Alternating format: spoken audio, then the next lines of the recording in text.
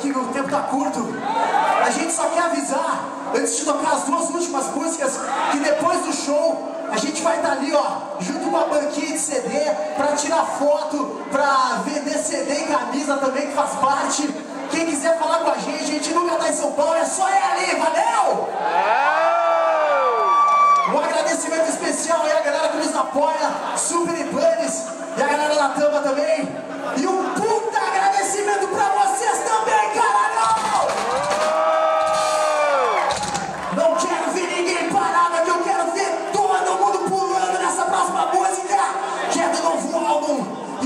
multiply.